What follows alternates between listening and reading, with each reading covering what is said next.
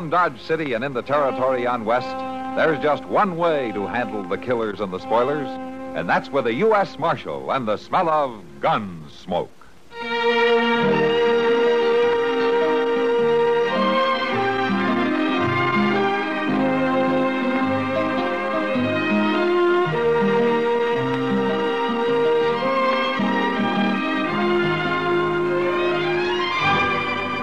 Gunsmoke, starring William Conrad. The story of the violence that moved west with young America. And the story of a man who moved with it. I'm that man. Matt Dillon, United States Marshal. The first man they look for and the last they want to meet. It's a chancy job, and it makes a man watchful and a little lonely.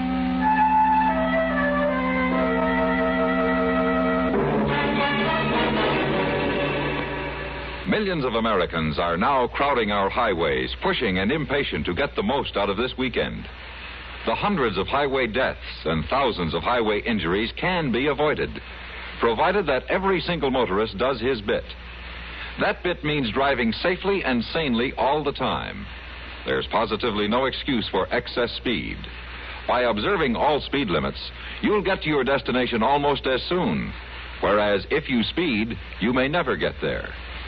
Just as important is the necessity of paying strict attention to traffic signs and those white lines on the highway. They were put there for your protection. Never pass unless you're absolutely certain it's safe, that the road is clear ahead. Never pull out of line, slow up, stop, or turn without first looking in your mirror, then signaling clearly well ahead. And don't be afraid to give the other fellow the right of way. If you let him go, you won't crash into him. At all times, drive with caution and courtesy. You'll live longer.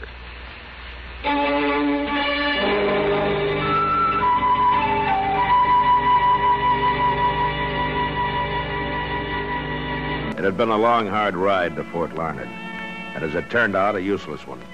The prisoner Colonel Matthews had been holding for me died before I could get there, so I spent the night at the fort and then started back for Dodge the next morning. The trip back was more pleasant. A breeze from the Rockies swept across the high plains, and it was cool for the first time in weeks. And now, camped for the night, just a day's ride out of Dodge, I was looking forward to a bath and a shave at Mr. Teeter's. I must have been asleep for some time when a sound awakened me. Somebody was standing just outside the circle of light cast from the dying fire. All right, hold it. Now you raise your hands and you walk in here slow.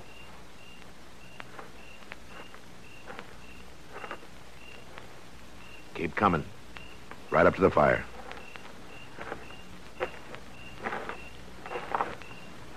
Now just stand it. Is there anybody with you? No, I'm alone. Please, mister, I didn't mean any harm. What are you doing here? I was hungry. Thought maybe I could get some food. Well, I might have shot you. I'm awful hungry, mister. I've been sitting out there watching your fire. I thought you were asleep. Well, there's some side meat in that fry pan. It's cold, but you can have it if you want. Thank you, mister. You really were hungry, weren't you? Yes, sir. What did you eat last? This morning, just before I ran away. Ran away? That's right. I ran away from home. I see. What's your name? Trudy. Trudy Trent. Well, where is it, Trudy? Your home. About 40 miles from here. What's your name? Dillon, Matt Dillon. I'm the U.S. Marshal in Dodge. Dodge. That's right where I'm headed. Now, look, Trudy, Dodge is a long way from here, a whole day's ride. Don't you think you better ride back home tomorrow and think about this a little? Your parents are going to be a little worried. That's just me and Pa, Marshal. And I sure ain't going back to him. He's probably out looking for you right now. Pa? He gets drunk almost every night. Ain't likely he's out riding around on the prairie. I see. He's about the most terrible man ever lived, Marshal. I could tell you things he done to me you wouldn't believe. You want to hear? Look, Trudy, a lot of kids don't always get along with their pa. I'm not a kid, Marshal. I'm old enough. I've been old enough a long time. Look, you're going back home in the morning, and I'm going to ride with you to make sure you get there. Don't you like me, Marshal? Uh, sure, I like you, Trudy, but you're still going home. Don't make me go back there. Please. I'll do anything you want. But please don't make me go back.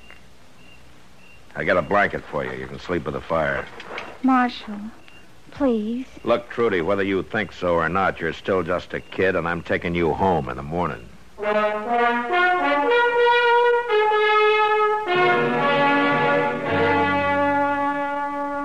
In the morning, I awakened to a clear, warm day, but the blanket I'd given to Trudy lay crumpled and empty on the ground. For a minute, I thought she'd run off. Then I heard splashing from the other side of the willows. She was taking a swim. A few minutes later, she was out, dressed, and we were breaking camp.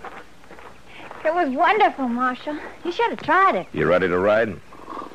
You're mad at me. Trudy, you had something to eat, you got some sleep, you had your swim, and now you're going home.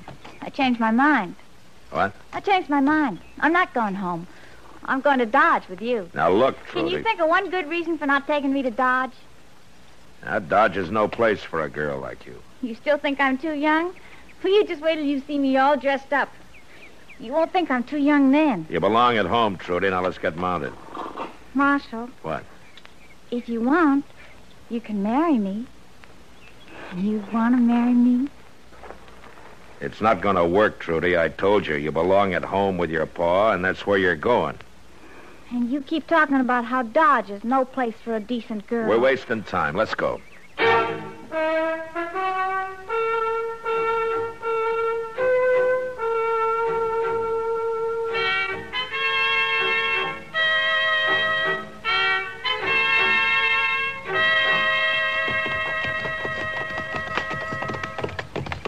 Well, there it is, Marshal. You can see we don't make out too good. This is hard land, Trudy. Any land's hard for Pa. He had a pretty good farm once, but he left it. Why? He had to. The neighbors run him off for stealing stock. He told me about it one night when he was drunk. He laughed fit to kill. Marshal, will you stay the night and think about taking me away with you? We'll see.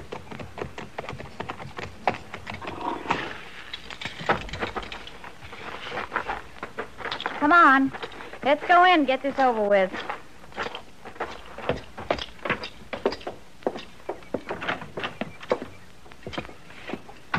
Pa? Hey, Pa. Hey, where, where'd you run off to, girl? I guess you was worried some, huh? You sass me and I'll fetch you a clout. This is Marshal. Dillon, Pa, from Dodge. What you bringing the law out here for? He brought me home, Pa. You, uh? I run away yesterday morning. Marshal brought me home. I ought to tell you good, girl. Running off that way. Worried about who'd do the chores, weren't you, Pa? Now, don't you talk like that, girl. I missed you. I missed you something fierce. I'll bet you did. I worried so much that I didn't hardly eat nothing. But you sure been drinking enough, though. Hey, Marshal, don't don't you pay her no mind. She's my little girl, and I care a whole heap for her. Listen to him. Don't it make you sick, Marshal? I, uh, I'll spend the night like you asked, Trudy. Now I better take care of the horses. What's this? What's this? This about spending the night? I asked him to, Pa. Well, for we don't need him around here. And I'll tell you something else. Tomorrow I'm riding to Dodge with him to stay. You're what? I'm leaving you, Pa, for good and all. No, I'm not hardly you ain't. Don't you hit me, Pa. Now look, Mr. Trent. Marshal, I, I'll tell you true. You take her away, I'll come to Dodge. I'll tell people what you done. Young girl like that. Why don't we wait and talk about all this later, huh? When you're sober? Well, I don't know as I aim to get sober. But I know one thing for sure. You ain't taking Trudy away. Never mind him, Marshal. You go take care of the horses. I'll find something for supper. Drunk or sober, I'll say just one thing. Just don't mess with me and my Trudy. Just don't mess.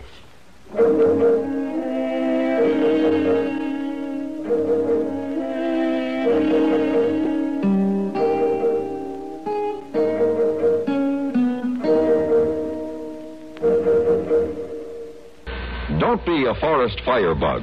Remember, a careless match, cigarette butt, or campfire left to spread can do more than destroy valuable timber acreage. It can lay waste to private property, wipe out homes, animal life, and human life as well. One cigarette butt thrown from the window of your car, if the wind is right, can lay waste to what nature took hundreds of years to build. CBS Radio and its affiliated stations offer this reminder. When fire saps America's natural wealth by one forest's potential value, our nation is worth that much less in the marketplace of the world. Don't burn out our great heritage. Take every precaution in or near the woods.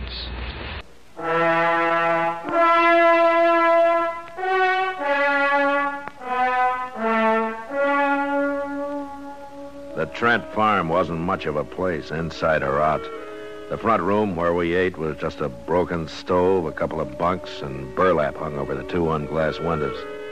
Supper was some boiled greens and sheep herder's bread, which Asa used to sop up his plate. Mm, mm. You eat like a hog, Pa.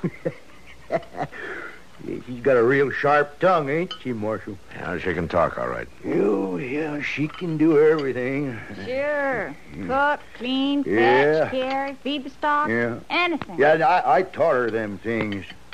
Yeah, and a lot more. I'll bet, and it's cheaper than hiring somebody. huh? Even cheaper than getting married, ain't it, Pa? Because if you married, you'd have another mouth to feed, huh? Ah, don't talk like that. No, you're my little girl. Eh, we have good times together, don't we? It's a palace of joy, Paul. Now, Trudy, girl, You know how we celebrated Christmas, Marshal? Paul got drunk and set me on fire. I had to run out and roll in the snow or I'd have burned up. Then he wouldn't let me back in. I near froze to death. Well, I'm going to go out to the barn. Get me another jug of whiskey. The one under the bed's empty. And get myself a... Well, Marshal, what do you think now? Still think I shouldn't go into Dodge with you? Is he always like that? Not always. Right now, he's kind of on good behavior on account of you being here. I see. Dodge couldn't be worse than this, could it? Uh, no, I guess not. Then will you take me, please? Yeah, I'll take you. Honest? Yeah, but your pa's going to make a fuss. There's going to be trouble. You afraid of him? No, it's not that. I just don't want anybody hurt. Well, ain't I worth fighting for? Just a little? Now, Trudy, I want you to get something straight. I'd do the same for anybody. Now, look, the first thing in the morning. Pa, how long you been standing there? Marshal, you can sleep in the barn. Uh, fine. Yeah, you'll find a good spot right at the edge of the loft. You'll like it fine there. You'll sleep good, too. The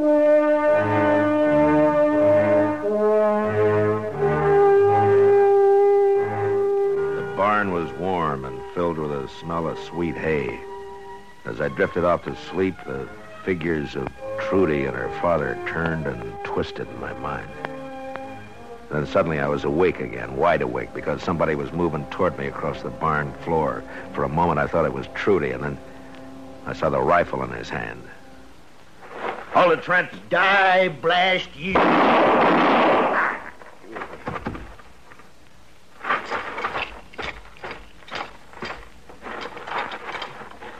Asa. Asa. Pa? Where are you, Pa? Marshal? In the barn, Trudy. What happened? Did he shoot you? No. I heard him get up and go out, and I followed as soon as I could. Is he dead? Yeah. You shouldn't have tried it. Trudy, I- I'm sorry. Don't be. He had it coming. Uh, you go on back to the house. It'll be dawn in an hour. I got some work to do here. I ain't going to stay on this rotten farm now, Marshal. That's for sure. You get your things together, Trudy. We'll leave for Dodge as soon as it's light.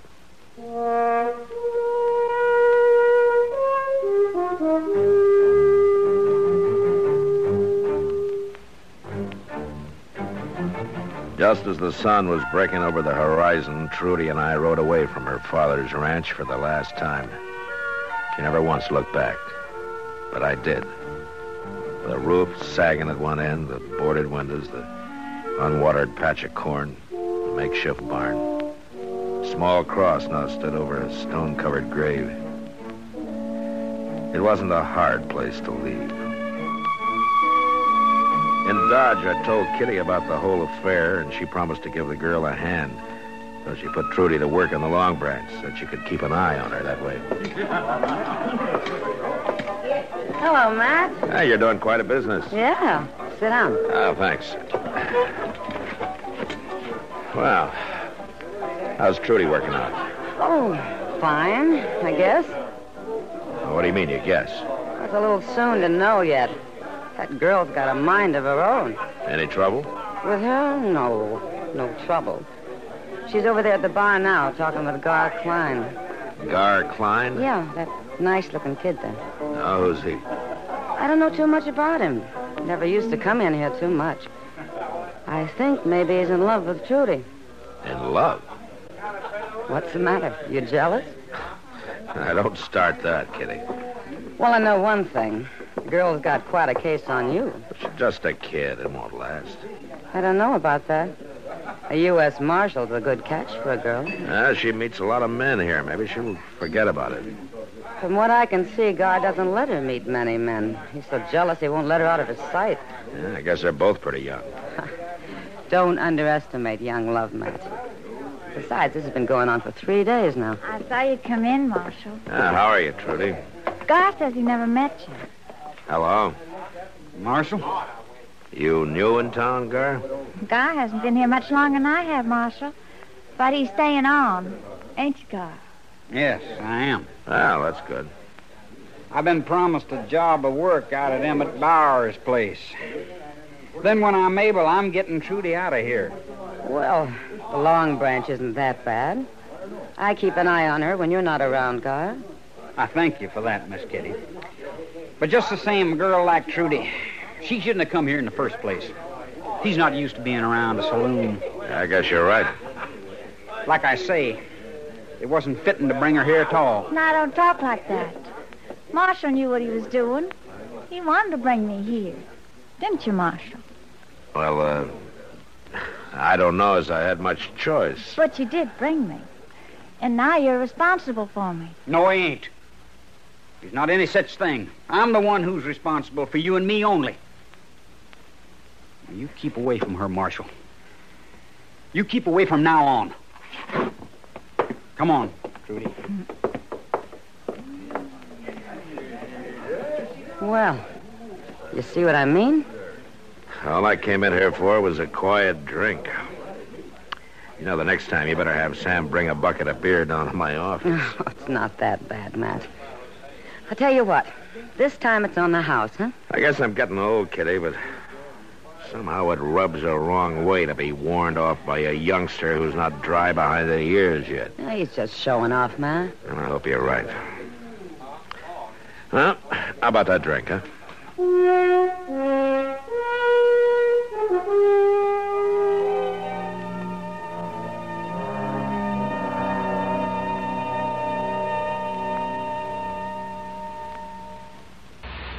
This is Dennis James with a longtime favorite.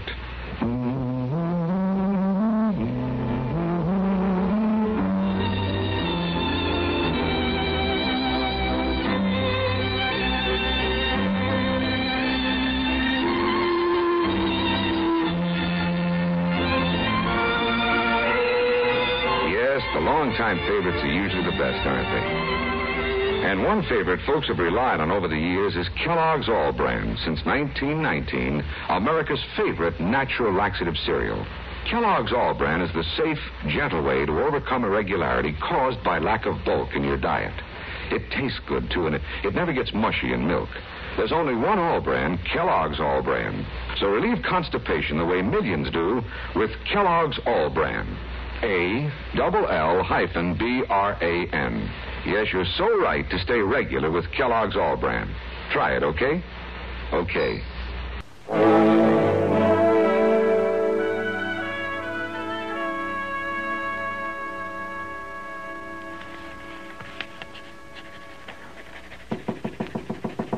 Yeah, come in. Evening, Marshal. Uh, Trudy, what are you doing here this time of night? I came to see you. Well, aren't you supposed to be working? I asked Kitty for a few hours off. Said I was sick. I see. You haven't been to Long Branch all night. Well, I've been busy. You don't seem very glad to see me. Now, look, Trudy. Let's get this straight. Marshal, I came here to tell you something. What? I just thought you ought to know now. I'm going to get married. Well, that's fine. To you. Um, now, wait a minute. I thought you were talking about Gar Klein. God, why him? Because he's in love with you. He got himself a job at Emmett Bowers so he could save enough money to marry you, get you a place. Gar's just a fence riding cowboy, and that's all he's ever going to be. I'm not going to marry a man like that. Like I said, I'm going to marry you. Trudy, you're a foolish, romantic little girl, and I'm sure not about to get married to you or anybody else, not now or any time. Now, have you got that straight? Little girl, am I? You asked for I'll it. teach you how to talk to a woman. Stop it. Stop that. Take it. I said stop it. Now, you just calm down. You feeling better now? I'll tell you how I feel. I'm going to tell everybody in Dodge you killed my pa and then, and then you ran off with me.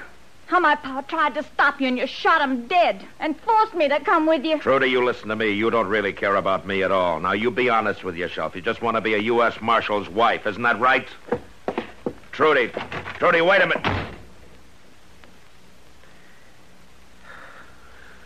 You try and do good for somebody, and this is what happens.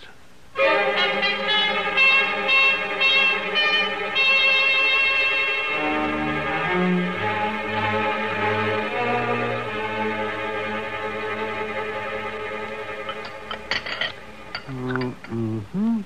Uh, Matt, you look kind of tired. What? I say you look tired. Oh. well, just like I've always told you, Chester, you can't burn the candle at both ends and not have it show. Oh, she must be a handful, all right, huh, Doc? well, she's got Matt going all right. It's a sure sign something's in the wind when they won't even talk about it. yeah. Well, it even happened to me one time, Doc. Yeah? Uh, back in Texas it was. And this little old gal, bless her heart, just wouldn't give me a minute's peace. She must have been a ridge running beauty. Well, now, she wasn't too bad, Mr. John. Uh, say, you better get married, Matt. It's a whole lot easier on a man than, than all this court. I just hate to do this to you, gentlemen, but I'm going to have to leave. Uh, uh, don't forget my check when you leave, huh? Steak, eggs, and coffee. Thank you. Matt, John, Matt. Marshal, Huh? Oh, Gar. I've been looking for you. Oh, what's the trouble? I heard all about it. All about what? Trudy told me last night. She told me everything. You've been drinking? Last night I was, but not now. I see. Last night Trudy told me how you shot her pa so she could run off with Now, her. wait a minute, Gar. Now you got her here in Dodge and you don't want her no more. Gar, will you listen to me? Trudy's lying to you. You're a fool to believe all that talk. I love her, Marshal, and she loves me. And I ain't gonna have you make sport of her. I'm not trying to hurt her. I haven't said anything against her. Can't you see this is what she wants? She's trying to make you jealous, trying to get back at me for turning her down. I'm gonna kill you, Now, you Marshal. better just go along, son. We can talk about this later. Not hardly, do that? Marshal. Gar, don't be a fool. This is for Trudy and what you done to her.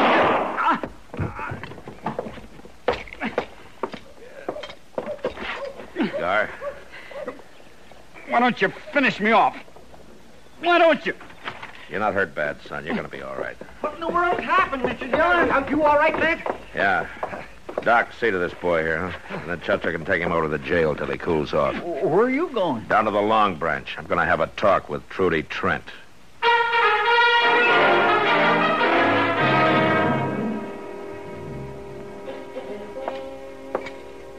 I heard the shooting, Matt. What was it? Gar Klein, but I'll tell you later. Right now, where can I find Trudy? Well, it won't be too easy, I'm afraid. Well, easy or not, I'm going to find her, and I'm going to run her out of town. Trudy's caused all the trouble she's going to around here. She's already gone, Matt. What? What happened to Gar? Did you shoot him? Yeah, but he'll be all right. What's this about Trudy? Well, last night Gar was in here with Trudy, and she got him pretty drunk. From what I could tell, they were talking about you. Later, Gar passed out, and I had Sam put him in the back room to sleep it off. And that's when Trudy met the gambler. Gambler. Yeah, from St. Louis. He came in last night late, real late, on his way to San Francisco. Trudy was at loose ends, and she got to talking with him, and they left together just half an hour ago on the morning stage. I see. I guess maybe he was a better catch than Gar Klein. Well, he looked like he was pretty rich. Fancy clothes and all. So I suppose she figured he was. Better than you, too, since she finally figured out she'd never get you. It's too bad about Gar. I guess he was trying to do the right thing, at least the way he saw it. Yeah. Trouble is, she never really cared for him at all. He was fighting for just a lot of shadows. Well, maybe that's better than not fighting for anything at all. Yeah, I guess you're right, Kitty. I guess you're right.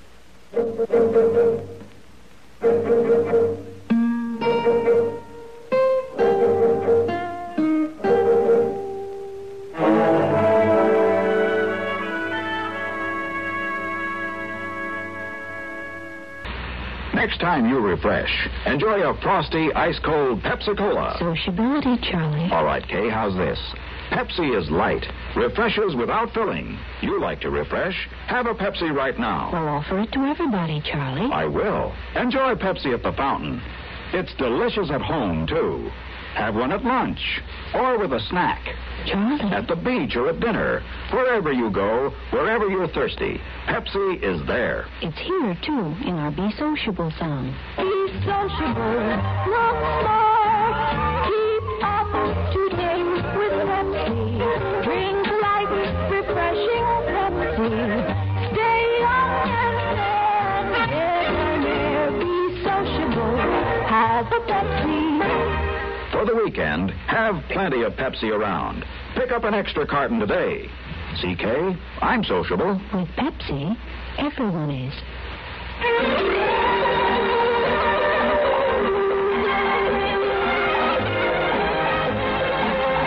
Gunsmoke. Produced and directed in Hollywood by Norman Macdonnell, stars William Conrad as Matt Dillon, U.S. Marshal. The story was specially written for Gunsmoke by Norman Macdonnell with editorial supervision by John Meston. Featured in the cast were Eve McVeagh and Sam Edwards. Parley Baer is Chester, Howard McNear is Doc, and Georgia Ellis is Kitty.